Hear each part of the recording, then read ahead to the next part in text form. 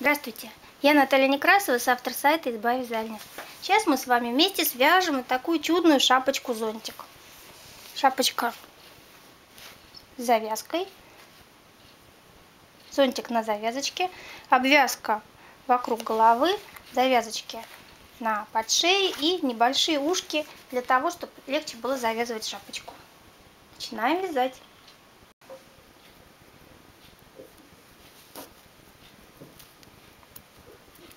Это можно уже сделать и более коротким инструментом.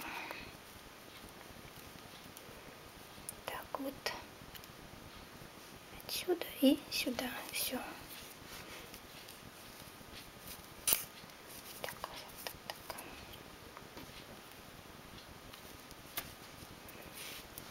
Шнур и ниточка.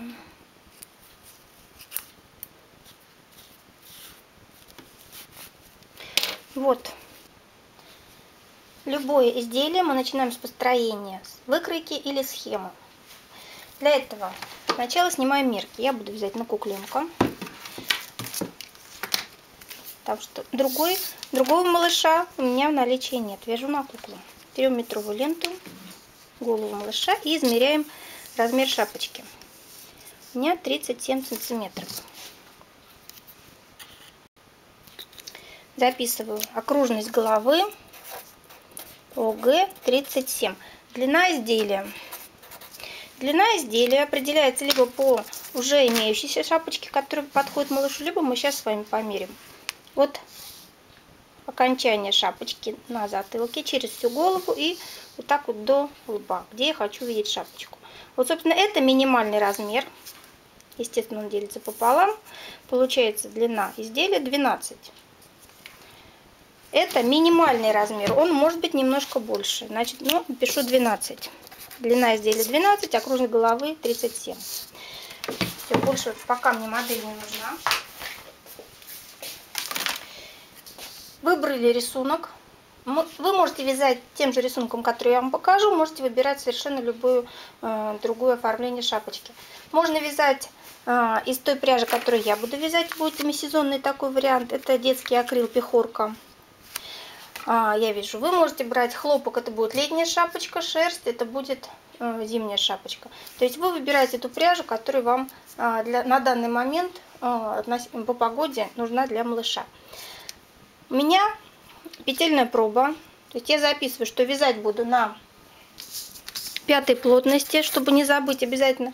И моя петельная проба 2,4 петли, 4,8 ряда. Это проба моего рисунка. Теперь определяемся с тем, что мы будем вязать, как, как именно. Начинаю вязать сверху, то есть не снизу, как обычно шапочки вяжутся, а с макушки, потому что на макушке мы с вами оформляем, я не назову это короной, я не назову это бантиком, это такая замена помпона будет. Начинаем вязать с нее. Поэтому и рисовать шапочку буду а, сверху вниз. Сначала мы с вами оформляем вот эту вот самую замену помпона. По большому счету это всего лишь подгиб большой подгиб, но я его сделаю не простым, а подгиб пико. Будет у нас такой красивый подгиб. А, Причем смотреть, какой высоты подгиб, можно прямо на вязании, на вязальной машинке. Посмотрю и прикину, насколько мне его насколько большим я хочу его видеть. Но с другой стороны я могу прикинуть и на голову малыша, что больше 4 сантиметров, например, ну максимум 5 сантиметров. Больше а, делать его не стоит. Поэтому подгиб будет, ну, четыре с половиной. Берем среднюю длину. Так, это будет подгиб пико. Видите, это все делается на глаз. Вы смотрите, э, какой высоты вы хотите вот эту вот замену помпона. Насколько большой он у вас будет, может быть. Дальше вяжем саму шапочку. Это прямое полотно пока. Вот мои 12 сантиметров. Но учитывая, что я еще буду делать обвязку, обвязка будет небольшая, где-то полтора сантиметра, эм, пускай будет 11 шапочка 11 и обвязка где-то полтора сантиметра, но она в расчет не идет, потому что она вывязывается уже отдельно. Это будет завершай, завершающий этап. Вот наша шапочка. И плюс к этому, здесь у меня середина, у меня будут ушки вывязаны. Ищем место ушек. Я смотрю, где у меня лучше начинать ушки от центра лба. ушки, вот 7 сантиметров от центра могут начинаться ушки. Значит, 7. И дальше какой? Так, 7 где-то тут. И ушки где-то тоже 7 сантиметров должны быть. 7, 7. И все, что останется, пойдет а, на заднюю часть головы. Поэтому смотрим. Здесь у нас 37 сантиметров. Делим пополам. Это 17 с половиной. Минус 14. Три с половиной. То есть получается ушко у меня 7 сантиметров, 7 лоб, 7 ушко и 3,5 пойдет после уха на прямой участок по спинке. То есть ухо ну, да, где-то тут заканчивается и до а, центра головы где-то, да, 3,5 сантиметра и получается. Все, вот, собственно, так мы посчитали с вами в сантиметрах нашу шапочку. Сейчас берем калькулятор и рассчитываем петли ряды. Калькулятор 37 петель умножаем на 2,4 петли. Ой-ой-ой умножаем на 2,4 равно 88,8. Пишу 88. 4,5 это само собой. Так, 11 умножаем на 4,8. 52,8. 52. Все. Больше мне пока здесь ничего не нужно. Подгиб пико 4,5. Ну, это примерно 4 на 4, 16. Ну, 20 рядов. Подгиб пико будет 20 рядов. 50 два ряда у меня сама шапочка, и потом после этого вывязываю ушки и завершаю оформление шапочки вывязыванием обвязки. Пико, обвязка, ушки. И очень красивый рисунок серединки. Опять же, вяжем шапочку тем рисунком, который подходит для погоды. Не делаем все это на будущее, вяжем прямо сейчас. Сейчас связали буквально за пару часов и будем с вами носить. Так, теперь такой момент.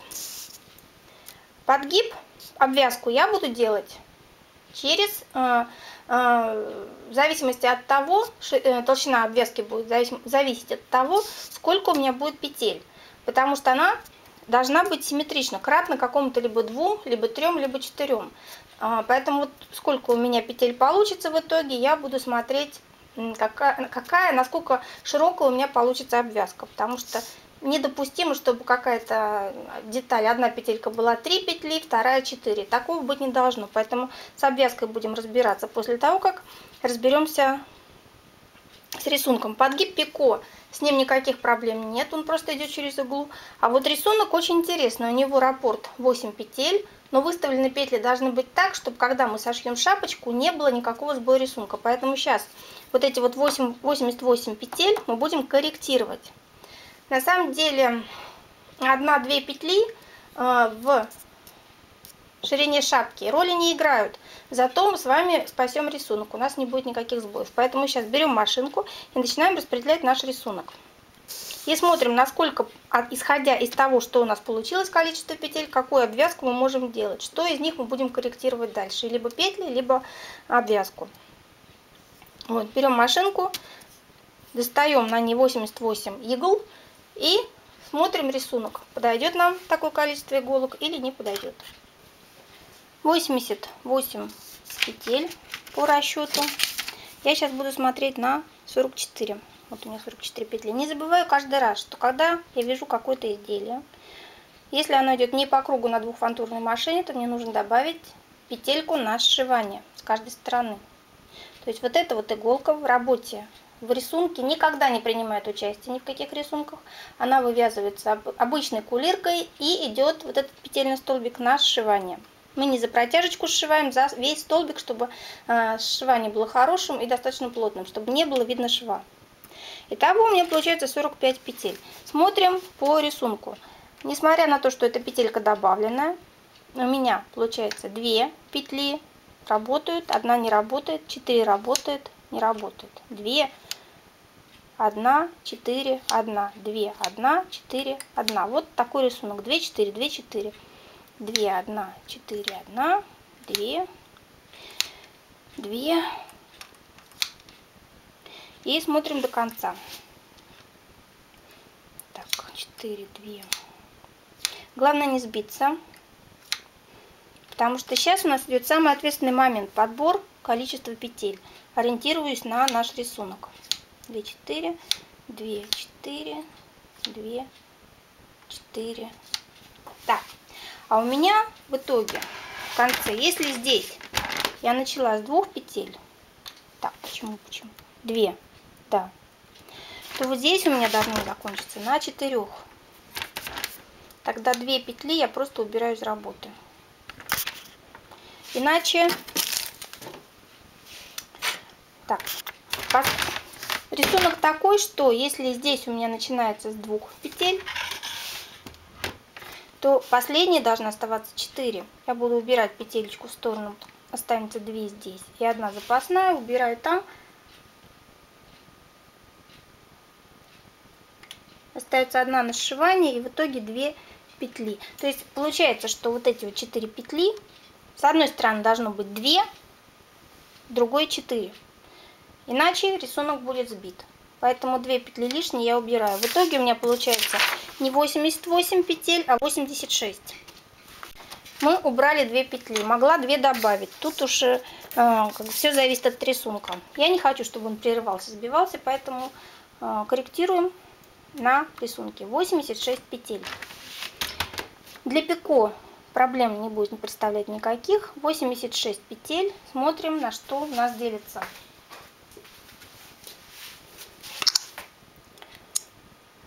86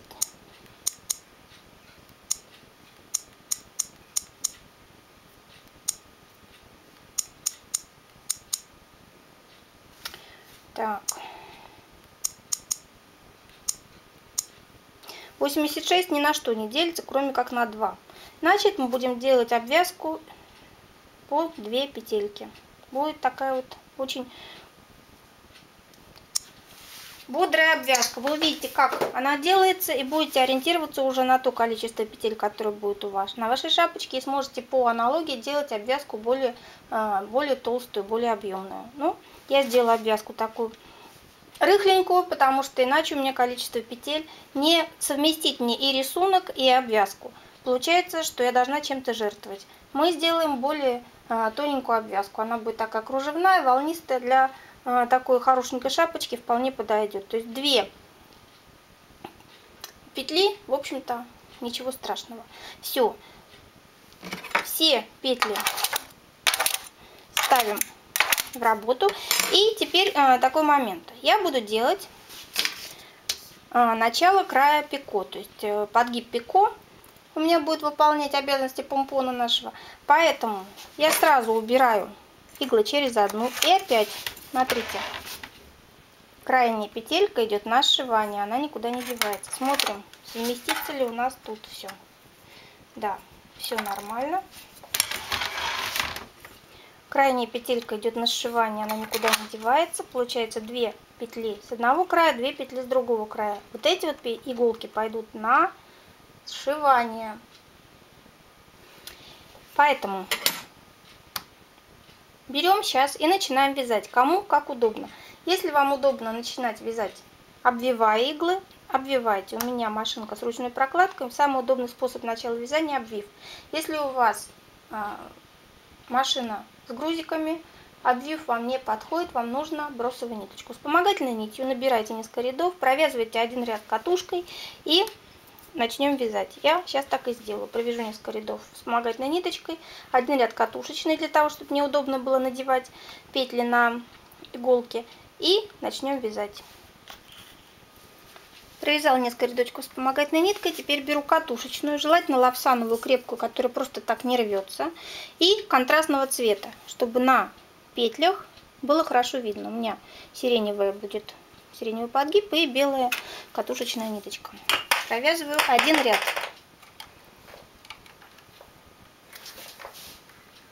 Оставляйте хвостики подлиннее.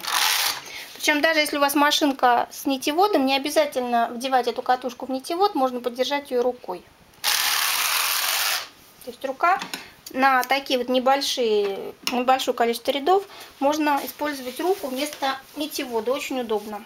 Не обязательно вдевать во все эти усы ниточку ради одного ряда. Теперь у нас вот здесь болтается ниточка. Оставляйте ее подлиннее, потому что она может, если оставите короткую, у вас может распуститься вязание.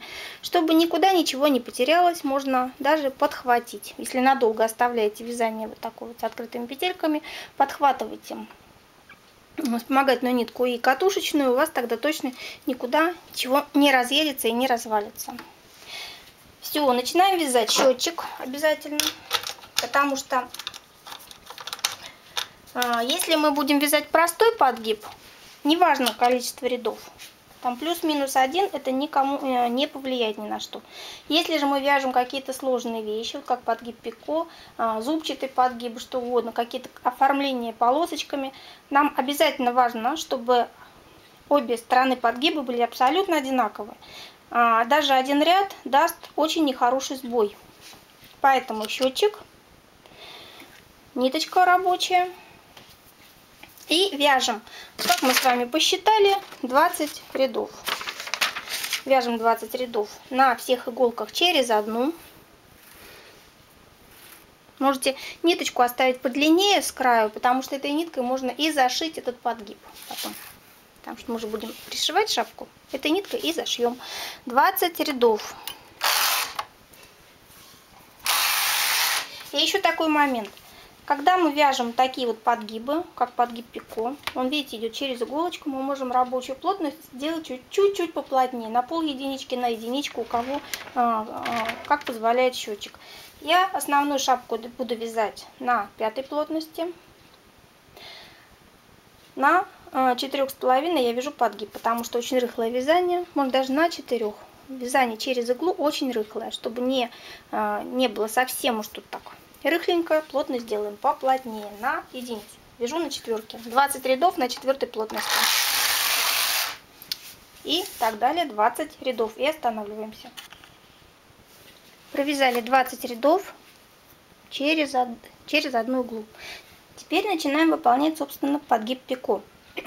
Надо при этом учесть, что сейчас будет достаточно большое натяжение нити нашей, поэтому если у вас плотное вязание, один ряд для выполнения вот этого подгиба провяжите на свободной плотности, чтобы было куда растягиваться нашей пряжи.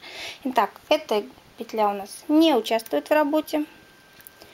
Берем петелечку и две соседние петли насаживаем на одну. Все назад. И вот также две.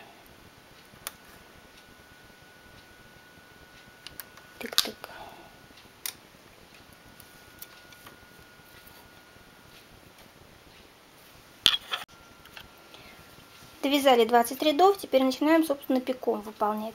Если у вас достаточно такая плотная вязочка была, один ряд на момент выполнения самого подгиба пересадок выполняете более рыхлый плотностью, для того, чтобы не было сильного натяжения. Итак, берем среднюю иглу между двумя иглами, стоящими в работе, и пересаживаем на нее петли. Петли назад. Итак, получается, что мы на забираем из заднего положения иглу и на нее э, насаживаем две петельки с двух на среднюю. Получается, что у меня одна игла держит на себе две петли впереди, ставлю вперед, три иглы пустых назад.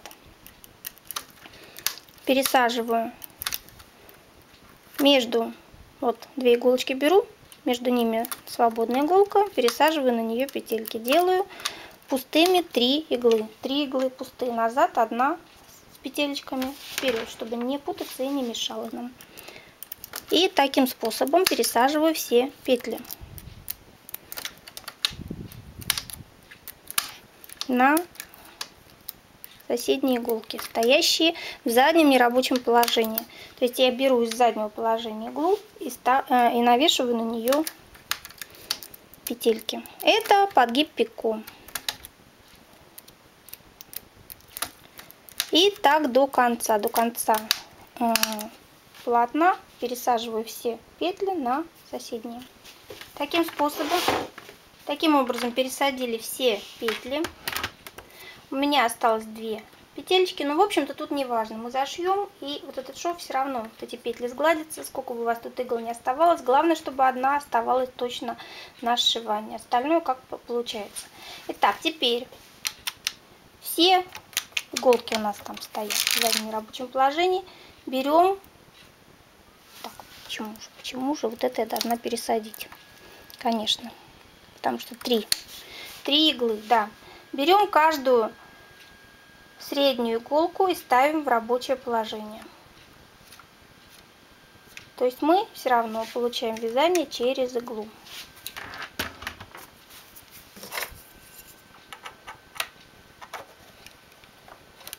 Я ставлю все иголочки, которые у меня стояли там через три иглы стояли. Сзади я средние из них забираю в рабочее положение. У меня все вязание идет через иглу. Ничего не изменилось. Все как было, так и осталось. Видите?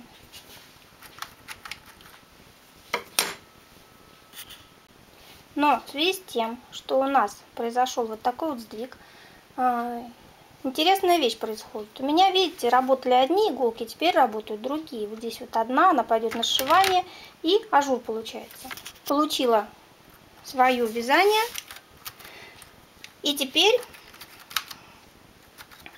совершенно спокойно вяжу 20 рядов. Вот как я провязала в начале 20 рядов, все убрала. Теперь вяжу вторую часть, 20 рядов. Получается, что я просто буду провязывать эти 20 рядов на других иглах. Но это те же 20 рядов, вторая часть подгиба. Каретка с этой стороны, нить тут же, ничего не меняется. Можно было провязать один ряд соединительный, друг, другим цветом отделочку сделать. Ряд до пересадки, пересадка и ряд после отделочным цветом. Было бы еще ярче, еще интереснее. Я этого делать не стала, поскольку уже не провязала. И сейчас не буду. Провязываю 20 рядов. Раз и еще 19. Провязали.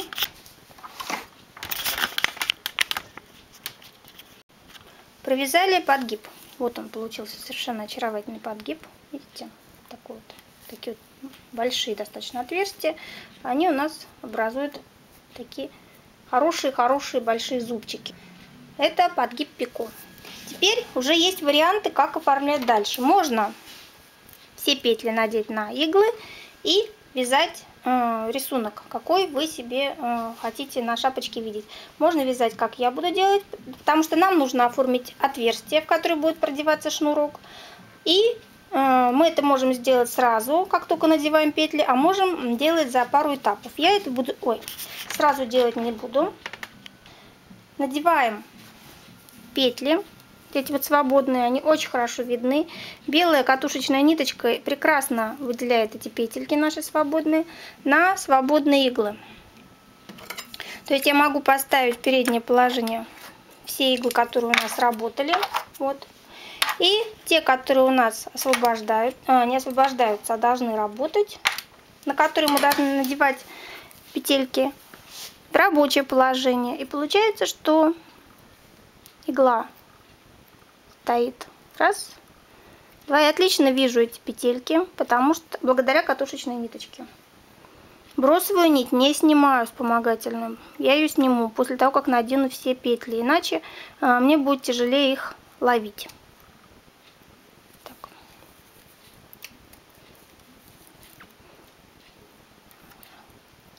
Раз, два. До конца вязания очень хорош, хорошо оттягиваю полотно. Если немножко потянуть, я отлично вижу эти петли. После этого могу свободно просто выдернуть э, катушечную нить. И у меня подгиб будет готов. Очень все просто и легко. Катушечная нить при вязании любых подгибов, при когда мне нужно получить хорошо видные открытые петли, просто незаменимо. Главное не брать чистый хлопок и очень тонкие нити, которые могут порваться, потому что машина, она железная, она э, с большой силой все это натягивает. Если ниточка будет тоненькая, она просто порвется и вязание потеряется. Поэтому нить э, хорошую такую, которую тяжело порвать руками. Она для машинки очень даже подойдет. Так до конца надеваем все петли на вязание. Надели. И теперь могу вытащить катушечную нитку. Я тут ее привязывала. Отвязываю. И тяну ее. Вот она и порвалась, но это не важно. Так, главное не вытянуть иголки. Петли не снять с игл. И вытянуть катушечную ниточку.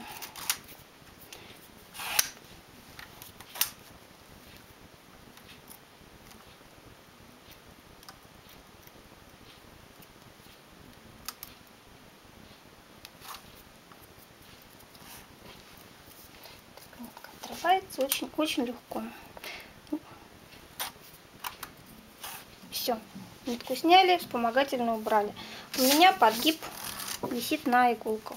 Все отлично, просто отлично. Провязываю на всех иглах один ряд.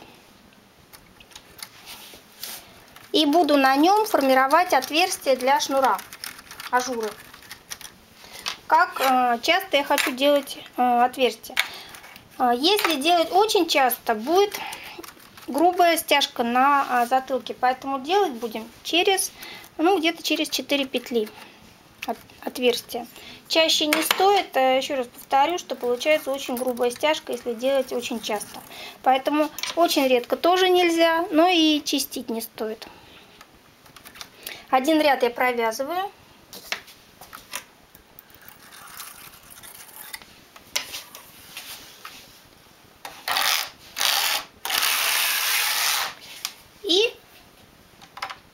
На вот этом, не забываю плотность поменять на рабочую, если вы э, делали на подгиб пико, уменьшение плотности. И теперь э, делаю обычные ажуры.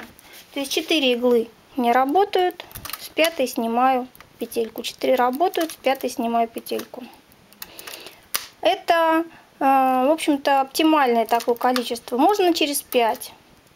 Но чаще не стоит, опять же говорю, потому что когда у нас очень маленькие вот эти вот стяжечки будут, они сильно утолщают на голове.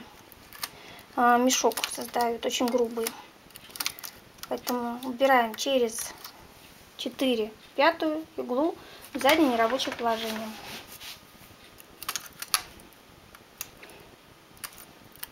Четыре, через 4, через 5.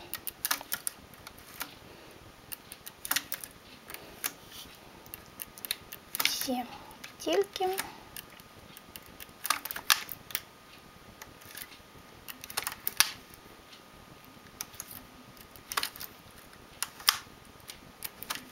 Там как получится. Все, все рабочие положения иглы и провязываю еще ряд. Либо два ряда. Так, надо учесть, что это все уже, в общем-то, идет э, в расчет вязания, но а,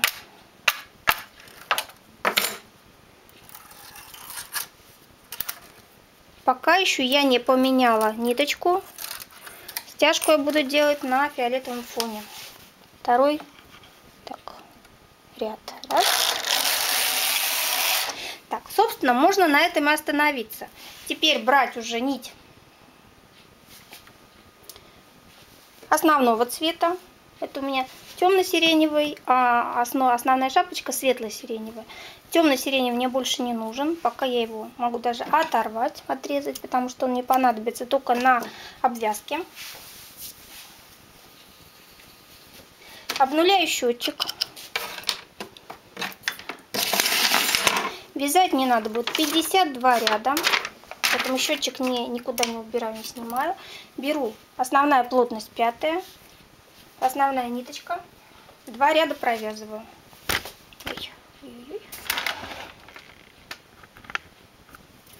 Так, два ряда провязываю и начинаю формировать рисунок.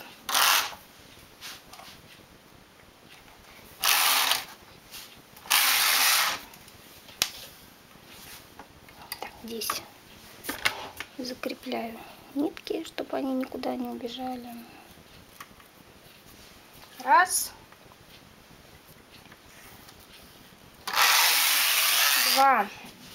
Так, ажуры для а, шнура. Вот они. Они прекрасно оформились. Все, ажуры есть. Пико закончено. Все прекрасно провязано. Два ряда рисунка провязано, осталось 50. Теперь формируем сам рисунок. Помните, две петли у нас работают. Третья. Сейчас сниму на э, соседнюю. 4. Одна не работает. 2, 1, 4, 1, 2, 1, 4, 1. Проверяю еще раз обязательно, прежде чем я буду пере, переснимать, снимать петли на иголки на соседней, я проверяю еще раз, выдвигаю и все. 2, 4, 2, 4, 2, 4, у меня вот так вот и идет мой рисунок.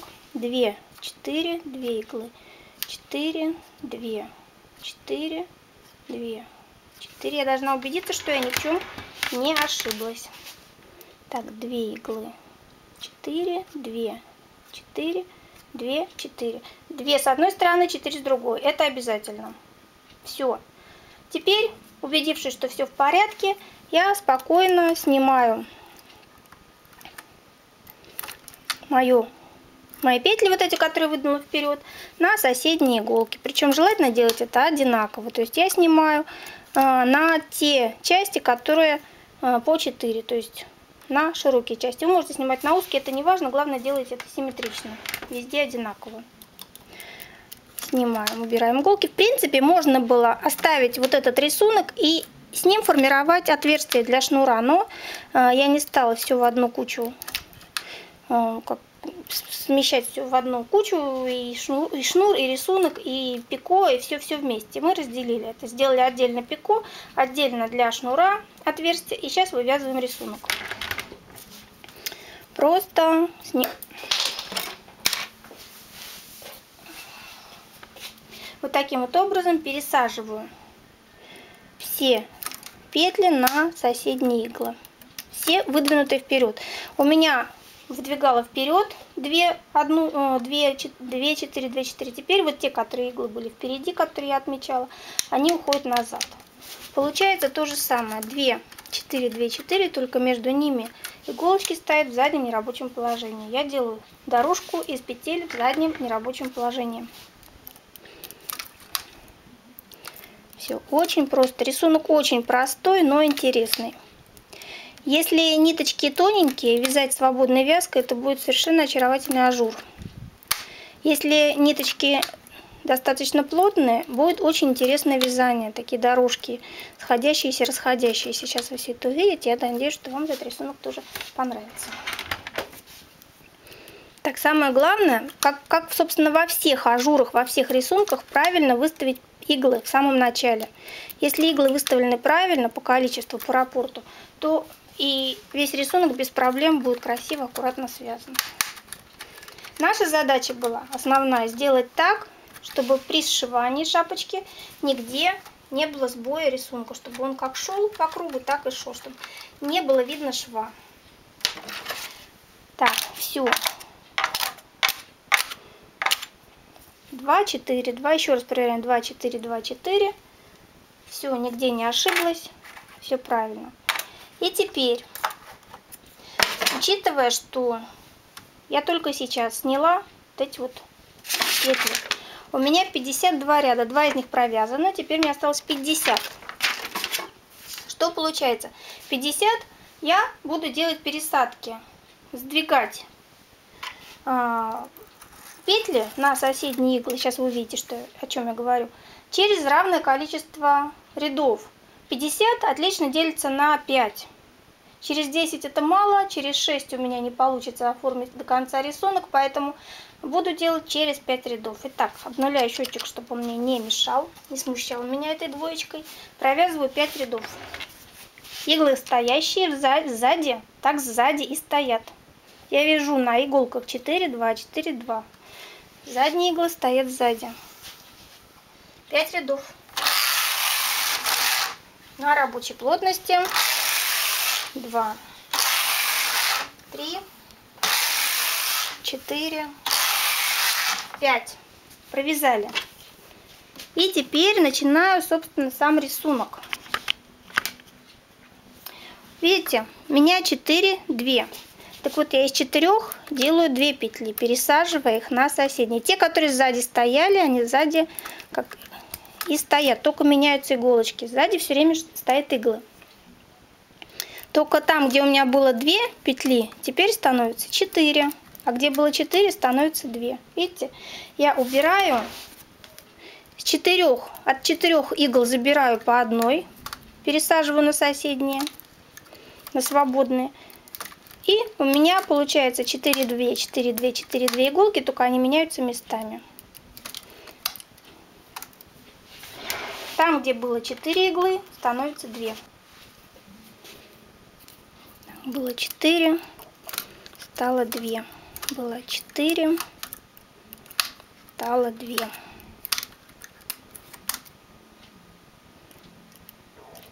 Очень простой рисунок. Самое главное, когда мы провязываем 5 рядов, не забыть сделать вот эту пересадку на соседние иголки. Это даже не косичка, это все гораздо-гораздо проще. Вот эти вот расходящиеся дорожки вывязываются вот так вот так просто. У нас всегда игла находится в заднем нерабочем положении, вывязывает дорожку. Но э, получается, что дорожка просто меняется. Вот такая змейка пойдет, рисунок змейка. Так вот, смотрите, то, чего мы добивались. У нас 4-2, 4-2. Так, все, отлично. Ставим те иглы, которые стояли сзади, так сзади стоят. Эти все подравниваем рабочие положение 5 рядов.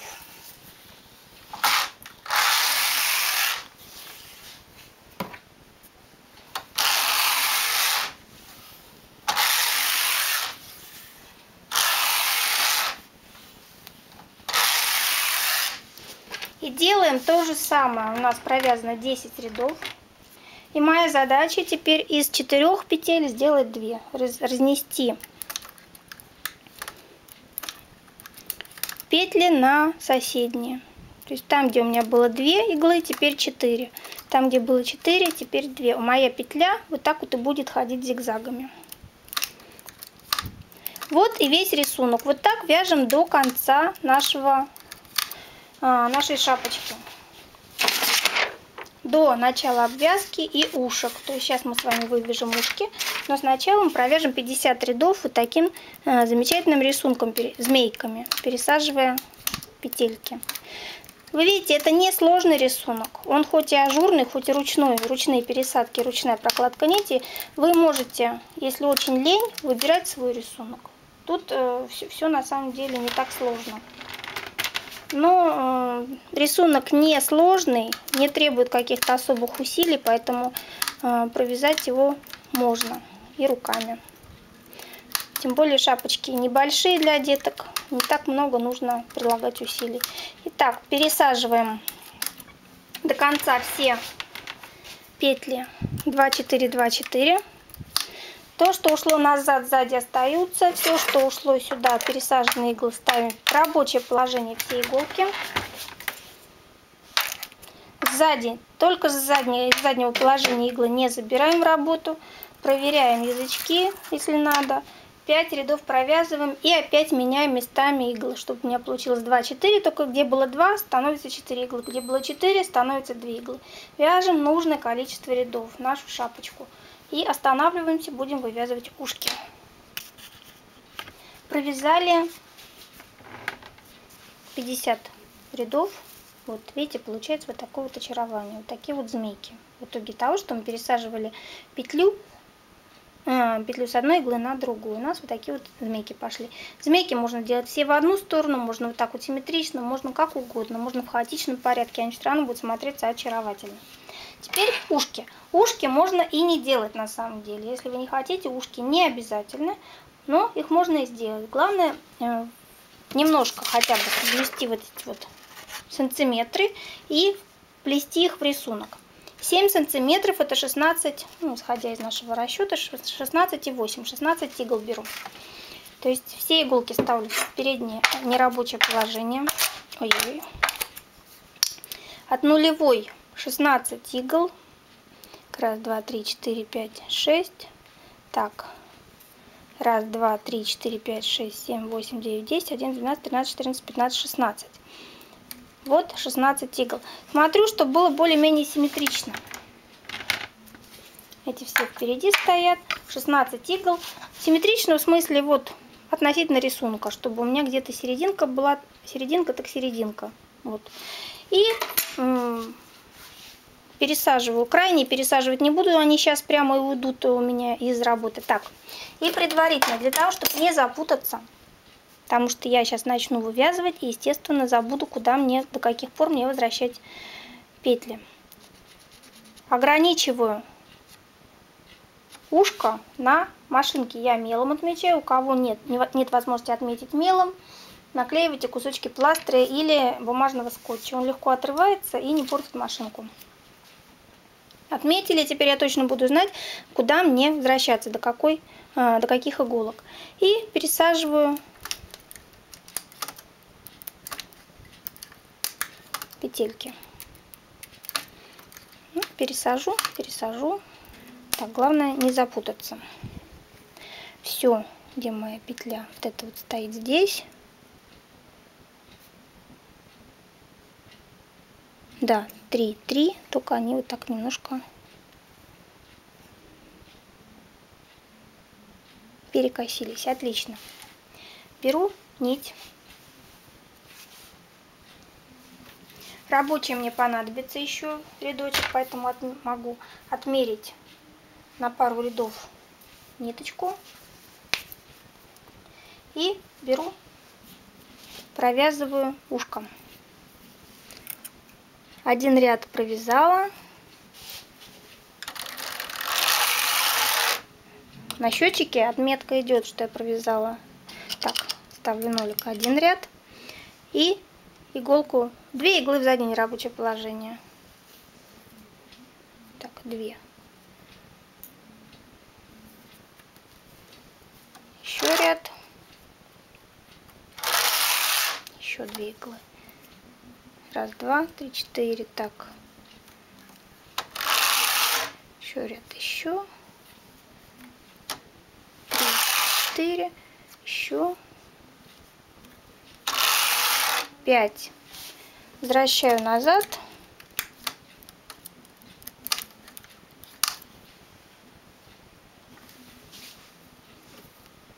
Пять рядов провязала. Ну,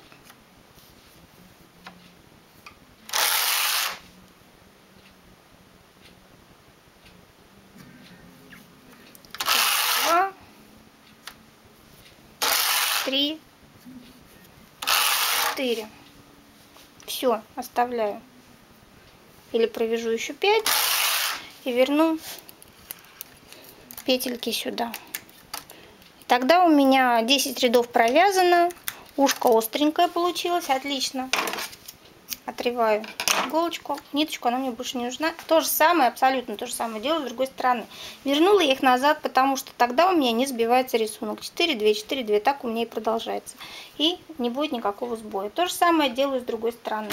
Провязываю 10 рядов, и такой вот уголок ушка. Не двойное ушко, а одинарное, один уголок вот такой вот идет. В этом отличие вот, вот таких ушек.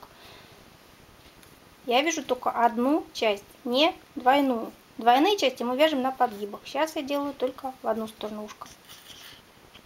Симметрично на второй стороне то же самое. Провязала два ушка, все иголки у меня стоят как надо. Теперь, смотрите, я буду делать обвязку. В обвязке мне нужны все-все-все петельки. То есть мне не должно быть никаких ажуров. Поэтому я ставлю все иглы в рабочее положение. И сейчас я уже начинаю ввязывать краешек, обвязку нашей шапочки. Обвязка через по 2 петли, как я посчитала. Но мне очень не нравится обвязка по 2 петли. Я хочу обвязку по 3 петли. Потому что 2 все-таки это слишком мажурно. Смотрим, что я могу сделать. У меня сейчас 86 петель. 86 на 3 не делится, 87 делим на 3, делится 29. Значит, моя задача добавить одну иголочку. Это я вполне могу сделать. Просто перенеся а, петлю, сейчас вам покажу.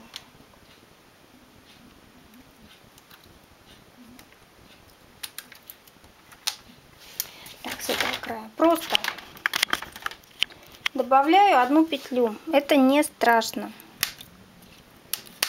И забираю ее из предыдущего э, из предыдущей петли. Протяжка у меня получается 87 петель. Так, подожди.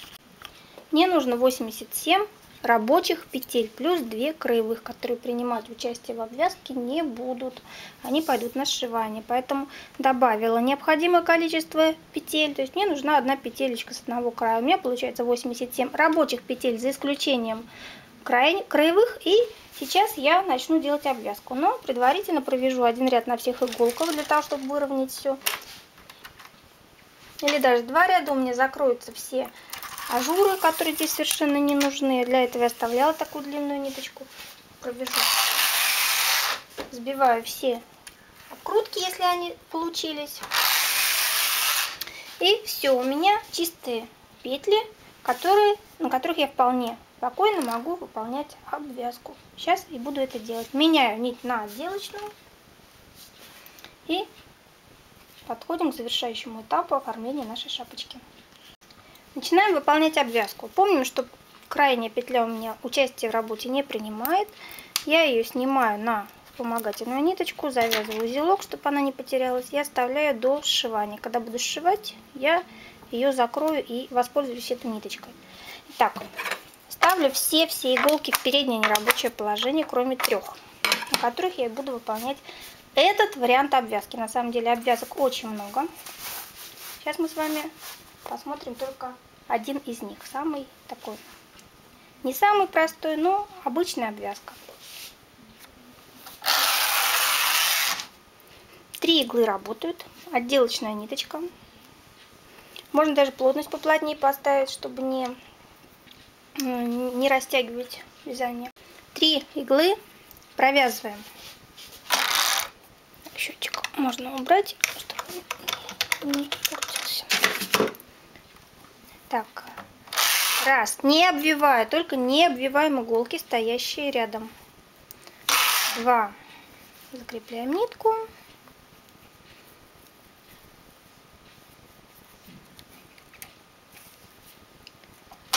Три, четыре, пять, шесть. Теперь смотрим, насколько длинной получилось провязанное полотно. На самом деле недостаточно длинное, я провяжу еще пару рядов. 7, 8. Моя задача сделать так, чтобы нитка оставалась с этой же стороны, с краю. То есть не внутри полотна, а с краю. 6 рядов я провязала. В общем-то этого достаточно. Чем больше рядов вы провяжете, тем ажурнее будет ваше полотно. Берем его, снимаем на соседние три иголки их в рабочее положение провязываю тоже 8 рядов. Раз, два, три, четыре, пять, шесть. Так, смотрите, 8 у нас петелька стоит.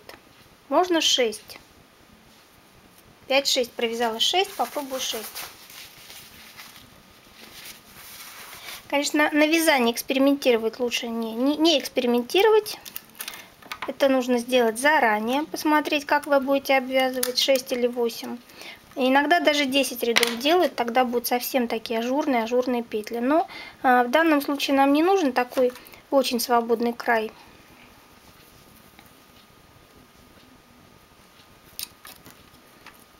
Так, 6 вполне достаточно. И продолжаем так вязать. Раз, два, три, четыре, пять, шесть. В некоторых случаях обвязка может даже стягивать полотно, быть, э, являться стяжкой, поддержкой полотна. Так. Все, собственно, вот это и есть наша отделка, наша отделка края вязаного. Раз. Два. Три. Четыре. Пять. Шесть. Самое главное, не обвить иглу, стоящую рядом. Не надо ее ни в коем случае обвивать, иначе вы привяжете нашу обвязку к иголкам, стоящим рядом, и будет совсем другой эффект. Вот что у нас получается. Вот такая вот красота. И таким вот образом мы продолжаем оформлять наше вязание до конца. Пересаживая каждый раз три иголочки на соседние. Когда мы провязали обвязку на, последних, на предпоследних шести, на трех иголках, пересаживаем на последние три иголки. Вот это у нас иголка не работает, она пойдет на сшивание. И закрываем, то есть мы пересадили обвязку и не вяжем 6, потому что эти 6 эм, рядов нам уже будет просто некуда пересадить. Мы аккуратненько это все закрываем. Удобным способом я закрываю простой косичкой. И на этом наше вязание закончено. Сейчас мы быстренько прикинем на куклу, э, что у нас получается. Закрываем все 4 петли.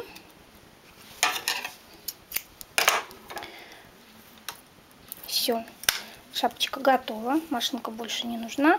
Сейчас будем мерить на куклу. Пока только прикинем, что получилось, потому что шапочку нужно будет еще привести в себя. Видите, вот эта обвязка, она может оттопыриваться, ее нужно будет подогнуть, чтобы она легла хорошо, отпарить или постирать, а, посмотреть по обстоятельствам. И сейчас будем зашивать шапочку.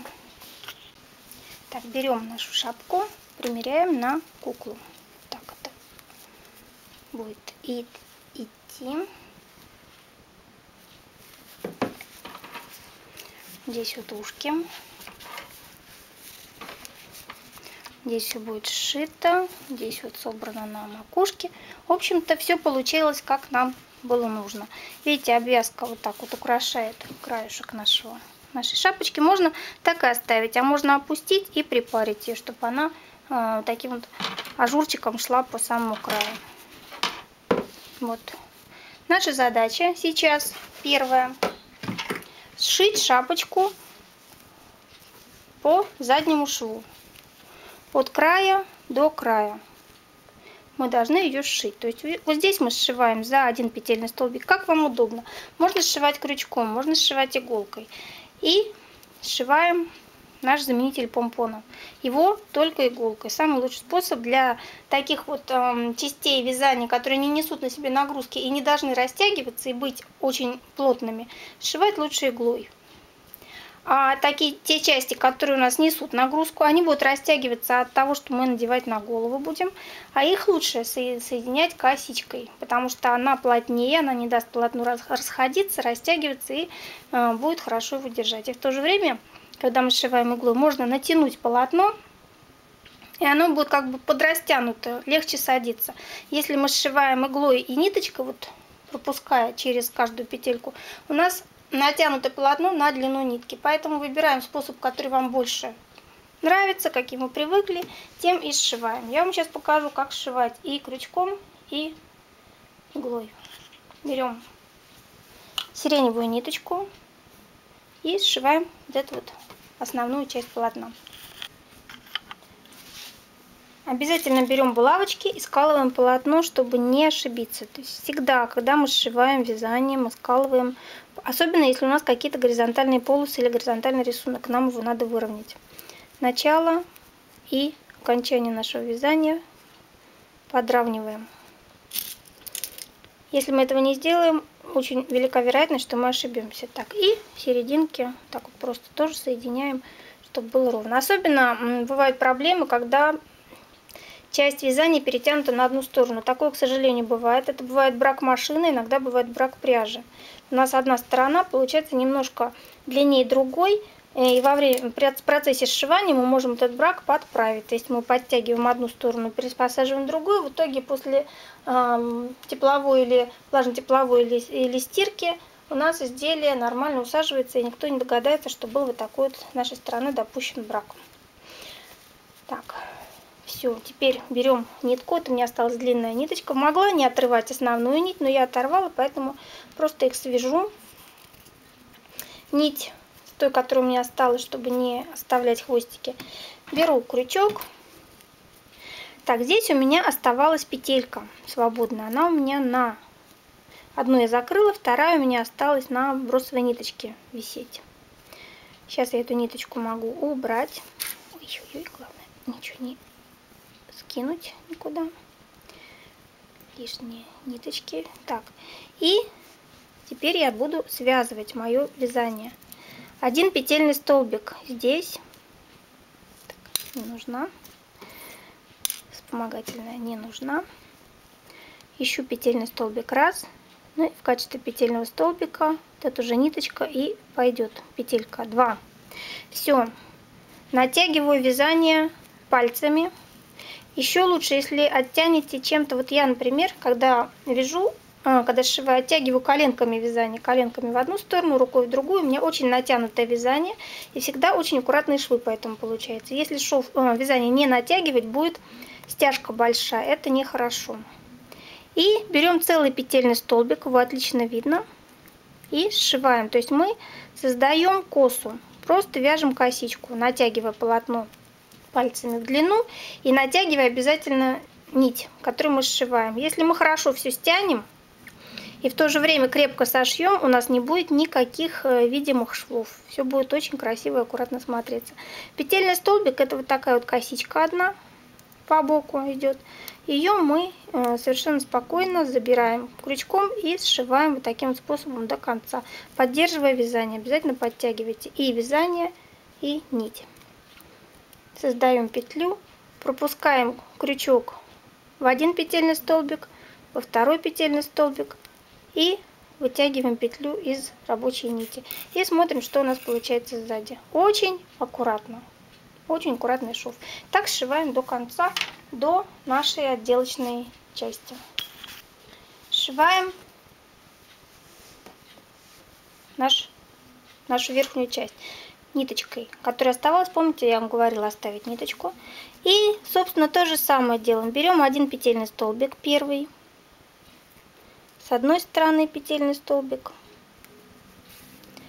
С другой стороны петельный столбик выводим иголку вдоль петельного столбика с одной стороны, вдоль петельного столбика с другой стороны. И там, где мы выходили, заходим с другой стороны. Главное это делать напротив, чтобы целый петельный столбик у нас ушел. Несколько раз провязываем, прошиваем, извините. Так, прошиваем, прошиваем. Потом делаем стяжку. И у нас стягиваются петельные столбики так, что их и не различить, не растянуть. Сразу стягивать не обязательно, мы проходим несколько, несколько раз иголочкой. Раз, два, три, четыре, пять и стянули. Все, Стяжка просто отличная, не видно ничего. Но зато, как я вам говорила, когда сшивали косичку, если косичку я еще как-то могу растянуть за счет того, что я стяг... растягиваю в процессе сшивания, то то, что я сшиваю вот так вот ниточкой, растянуть уже не могу. У меня шов равен длине нитки. Нитка не тянется, она не эластична. Этот шов косой более эластичен именно в том месте, где мне нужна будет растяжка. Вот как, например, на голове. На короне растяжка не нужна. Поэтому сшиваю ее до конца. И мне останется только стянуть макушку и подшить шнуры к ушкам и стянуть макушку, оформить. Дошиваем до конца. Сейчас будем вывязывать шнуры для оформления шапочки. Вяжем шнур для стягивания макушки. Три иголочки, если у вас нужны грузики, значит, со сбросовой ниточки. Самое главное, оставьте хвостик. Мы на хвостик навесим бусинку. У меня три иголочки, мне грузики не нужны. Я начинаю обвивом. И вяжем на рабочей плотности 3 на трех иглах плотно. Завязали узелок. Поехали вязать.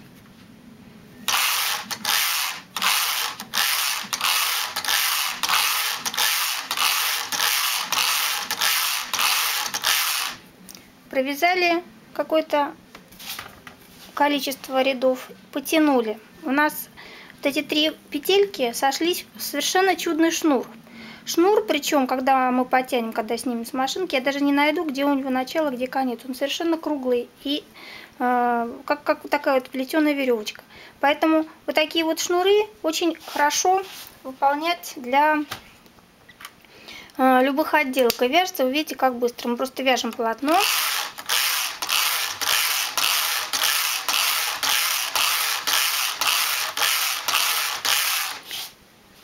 Потом тянем.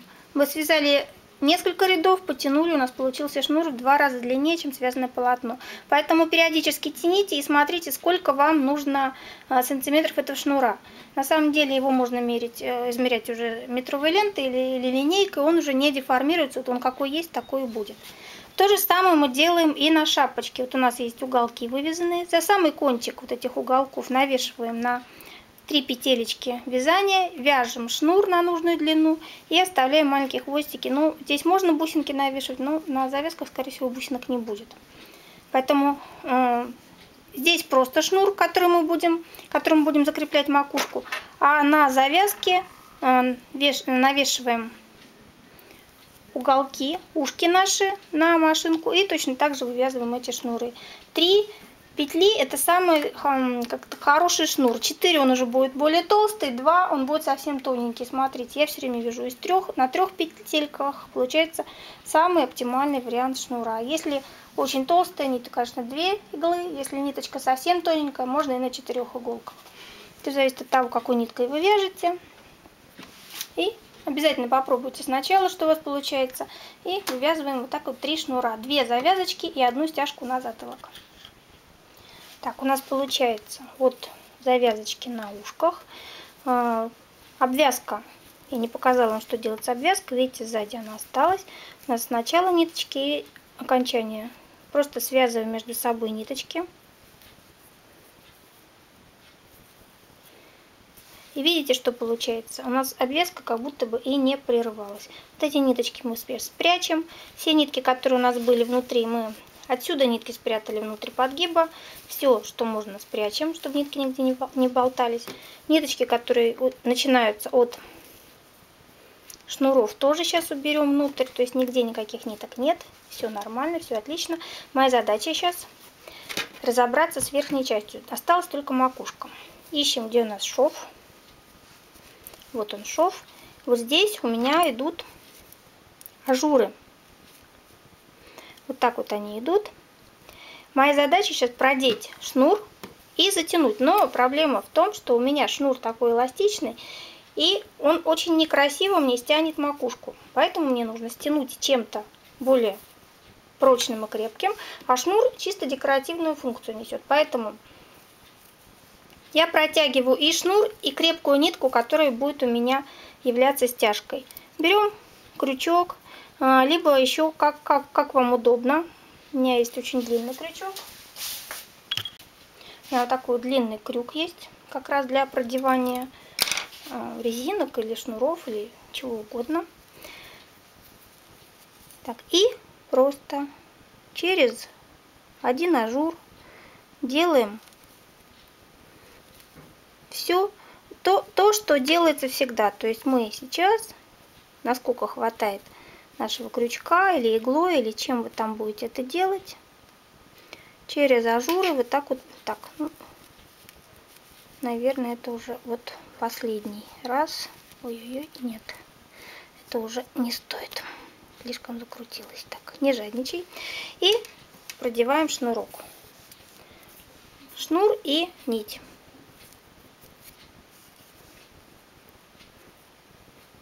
Шнур и нить за самый кончик, конечно.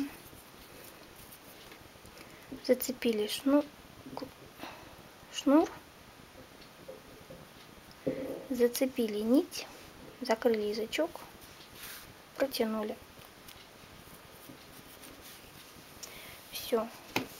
Теперь в обратную сторону будем делать то же самое. Здесь, видите, все очень хорошо. Осталось совсем чуть-чуть, несколько разочков протянуть и все. И теперь шнур стороночку, а ниткой, которую мы протянули вместе со шнуром, начинаем стягивать, делать стяжку. И шнур подтягивайте тоже, чтобы он не, не сдерживал нам вязание, э, стягивание. Смотрим. насколько крепко все получается.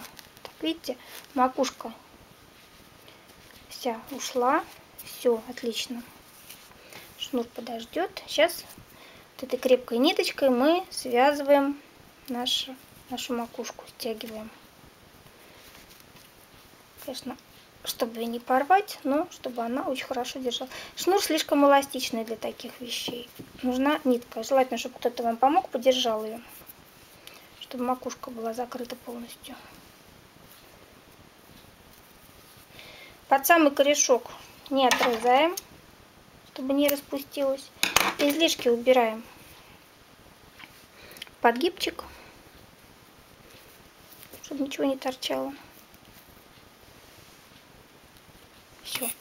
И теперь вот наш шнур. Мы его тоже завязываем. И оформляем как угодно. Я сделаю бантик. И у меня есть такие вот бусины. Можно продеть их в бусинку.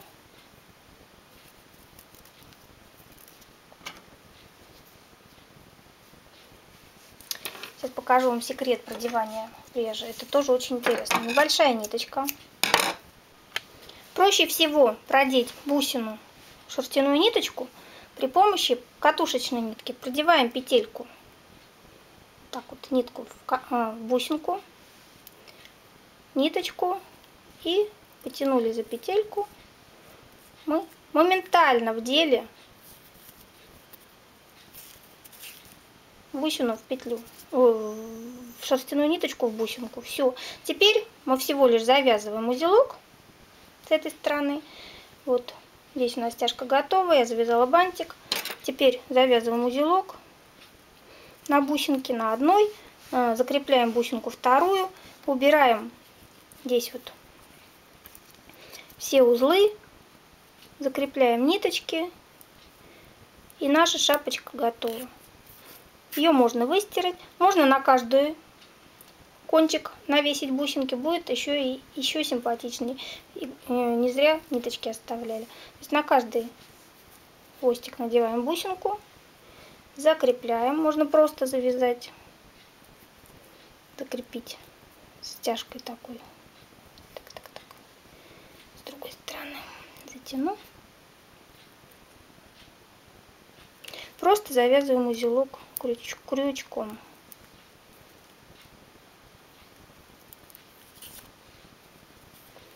Бусинка закреплена.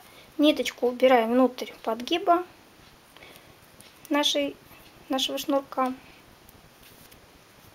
И лишь, лишнее обрезаем. Получается шнурок с бусиной. Вот также при помощи вот такой просто сложной пополам ниточки вдевая ее в бусинку, продеваем шнурки, вдеваем все, э, убираем все ниточки из каждого шнурка. Так, получается у нас отличная шапочка, все прекрасно стянуто, нитки все убраны. Вот такая вот замена помпона. Ушки вывязаны, как мы хотели. Рисунок сохранен. Такие ушки небольшие, можно их не делать, можно делать. Обвязка закрыла нам все все открытые петли мы закрыли обвязкой. Отлично сшили все, все швы, ничего нигде не видно. И шапочка готова. Можно надевать и носить. Все дошили, все отлично улеглось. Вот этот наш хвостик, который получился, мы можем оставить так. Можем свернуть вот так вот. Можем оформить как зонтик. То есть все что угодно. Это уже ваша фантазия, еще и зависит от того, как пряжа ляжет. То есть если шерсть ляжет вот таким зонтиком, значит у вас шапочка с зонтиком. Внизу бантик. Видите, наш бантик с бусинами. Сверху отличный зонтик. Необычная, действительно необычная отделка. Вот такой шапочка-зонтик. Ушки, обвязка, завязочки на шее. Шов отлично сделан, все очень хорошо. Мы с вами молодцы. Мы выполнили совершенно замечательную шапочку. Сиреневое настроение с зонтиком.